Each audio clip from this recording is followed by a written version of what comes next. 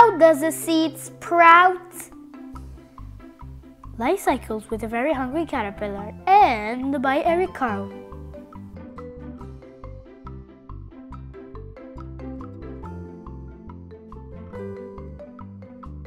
The very hungry caterpillar is curious. How does a seed become a tree?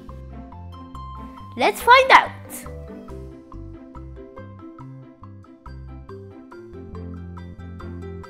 Trees make seeds to grow new trees. Oak trees grow their seeds inside of acorns. Then they drop their acorns to the ground. A squirrel sees an acorn and buries it in the dirt. Why?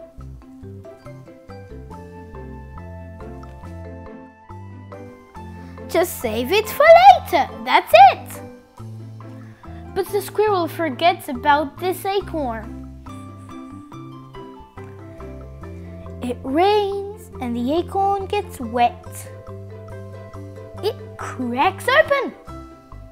Inside, the seed starts to grow. A root reaches down into the dirt.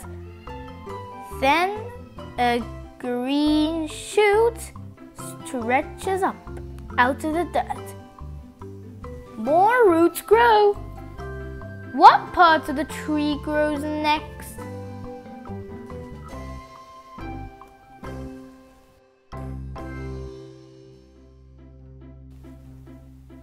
Yeah, leaves.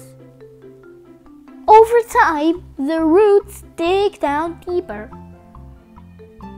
The bottom of the stem becomes a tree trunk. The tops of the stem have turned into branches.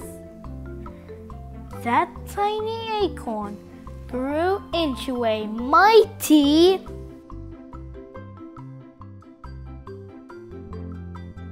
oak tree. Now the very hungry caterpillar knows how a seed turns into a tree. And you do too. The. Kids, you are smart.